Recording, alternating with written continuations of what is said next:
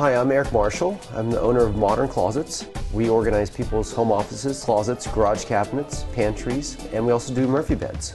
First off, we come to your home, meet you where you're having the problems with your storage, and we bring a computer design program with us so we can design your closet or home office on the computer for you so you can see exactly what you're getting. And that generates a list of storage items, tells you how much more space you're getting than what you're getting right now. Our specialties are master bedroom closets, shoe problems, drawer problems, and just little accessories that help you with the closet. We can put an ironing board in your closet, we can put a pull-out mirror in your closet, and we've got jewelry trays and such.